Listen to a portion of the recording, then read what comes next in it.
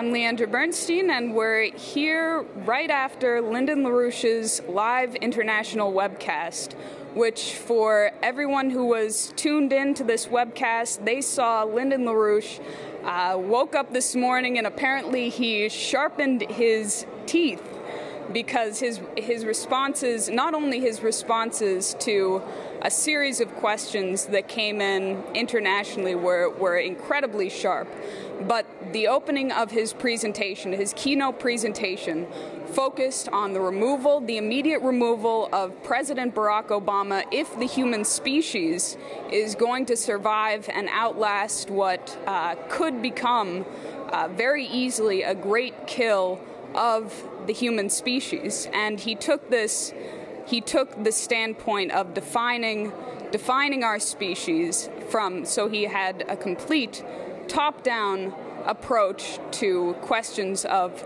policy, questions of economics, and so he was well positioned to take a number of these questions and really, frankly, put people through the ringer.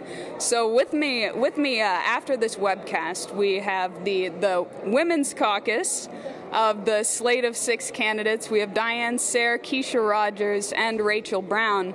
So I'd just like to get some of your your first responses to this to this webcast and uh, in terms of what, what you've been organizing. Okay. Well, I'll just say coming to this webcast is like uh, deprogramming or maybe, um, I don't know, a, a steam cleaning your carpet after spending two days in the U.S. Congress. I mean, I was really happy that Jessica White, one of the New York public school teachers who's been working with us, spoke up because they we had about eight people from New York City, a couple teachers union uh, teachers and others, and um, they were blown away by the corruption and the cowardice among these aides. And for them to then see Lynn in context, you get a sense of what a genius, I mean, what a brilliant leader Lynn is because you just say, why, you know, why is the nation stuck with these gutless wonders when you have someone like this there? And they got sharper and sharper. And then one of them told me at the end, she said, this was the best I've ever heard Lynn. She was totally excited. But of course, their standard is now completely different having and and it was delightful. I mean, we had people actually. They must have been passing notes out of the meeting because when the meeting would get too intense, suddenly the aid would be urgently needed in another meeting, and they'd be called out. So they did a really effective job, and Lynn was great. I mean, he's hitting at exactly, I think, what what we have to take up and have to take up with everyone we're in contact with, which is the question of leadership in this crisis. And of course, he embodied it. So that's what I would say.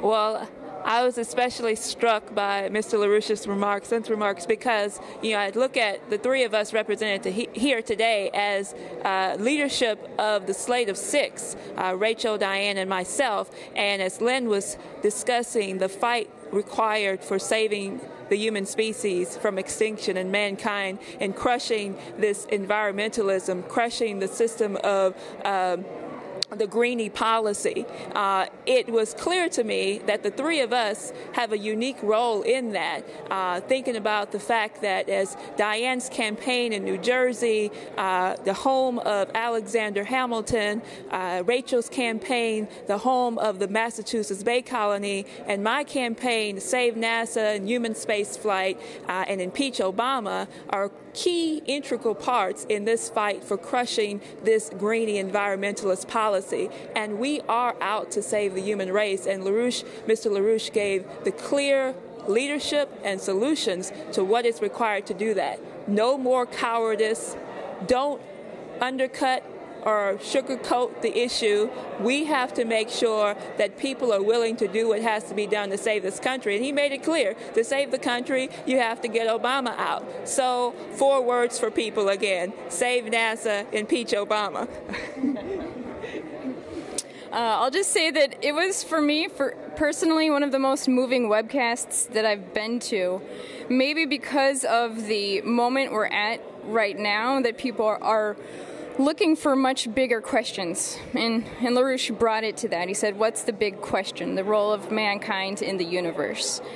And saying we have to return now to a credit system, not a monetary system, and and going through what that actually is. Like, for example, the fact that Europe and the United States, even if we uh, go with Glass Steagall, there's still a lot of legitimate debt that we cannot pay right now. And so we can actually, uh, you know, make legitimate that debt, make it fungible, as Hamilton said, by creating the physical processes to pay it back. The same way that our nation was founded on, he said, we have to do right now with NAWAPA, rebuilding the TVA system itself, uh, solving the problem that's been created by, by the floods and the lack of funding to the Mississippi River system and the Army Corps of Engineers, we have to put a commitment to the to rebuilding the physical process of our nation and the entire planet in the way that the, bi- the biosphere itself does. So that's that's fun. We've got to increase the energy flux density of the planet with our minds. So yeah, but just the passion too that that, that LaRouche was communicating is the passion that which, which we have to fight for these ideas. All right, I want to thank all three of you and remind our viewers that yes, we have a slate of six candidates, but as Mr. LaRouche said in this webcast, that slate is essentially uh, infinitely expandable.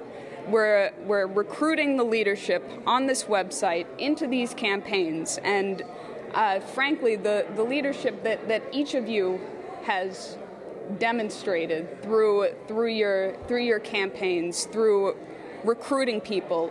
What Lyndon LaRouche said today, there are no more excuses. The American population, people internationally, are ready to hear this message that we are out to do no less than save the human species from President Obama, from the green policy that he represents, along with his vicious cohorts in uh, Buckingham Palace, uh, and that's that's the agenda. That's the immediate proposal.